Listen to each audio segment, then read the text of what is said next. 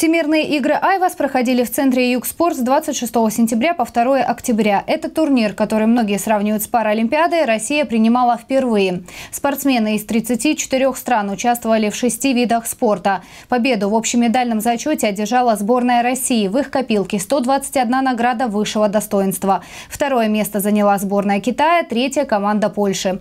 Сразу после финальных соревнований по тэквондо с триумфаторами игр встретился министр спорта Виталий Мутко. Он поздравил нашу команду с победой и обсудил развитие паралимпийского спорта в регионах. Уровень соревнований, да, инфраструктуру, которую мы предоставляем, конечно, она находится на высоком уровне. Но я очень рад за вас, ваш пример, вот ваше выступление, оно сильно дает толчок. Вы же здесь представляете все регионы страны. Я вам обещаю, что по окончании мы еще раз с главными тренерами проговорим все проблемы, все регионы, которые вы представляете. Мы сориентируем на то, чтобы они уделяли этому внимание. Если в других регионах этот вопрос еще нужно решать, то Сочи представил для проведения всемирных игр достойную инфраструктуру. Ведь наследие, доставшееся курорту после Паралимпиады, власти города продолжают поддерживать в хорошем состоянии и развивают дальше. Мы рады, что каждый из них увезет впечатление не только спортивных составляющей, это, по сути, э, грандиозного праздника паралимпийского спорта спорта. Ну и, конечно же, впечатление от нашего гостеприимства. Город обеспечивал всю составляющую инфраструктурную.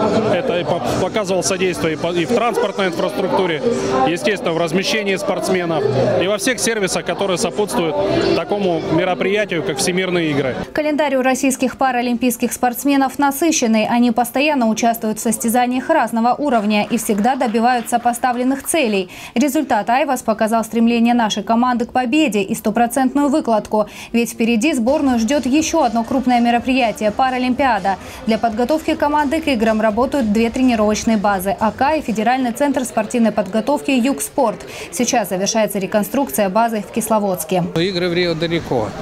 Э, часовые пояса – это очень серьезная проблема для спортсменов. Климат – очень серьезная проблема. Ну, дома и стены помогают, так что бразильцы будут очень сильны. Много сложностей будет всяких, много проблем.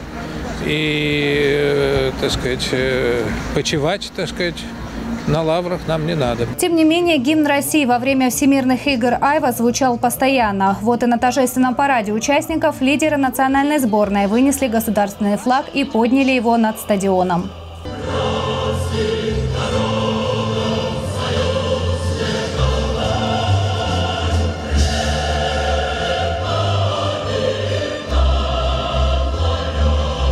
более 800 человек из 34 стран мира. Каждый из вас сегодня заслужил победу, одержал победу. Медали получили не все, но победил каждый.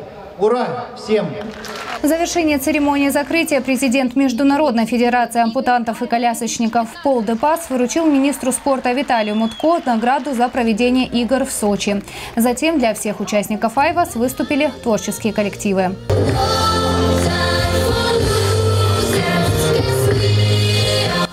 Татьяна Говоркова, Борис Осин, телекомпания «ФКТ».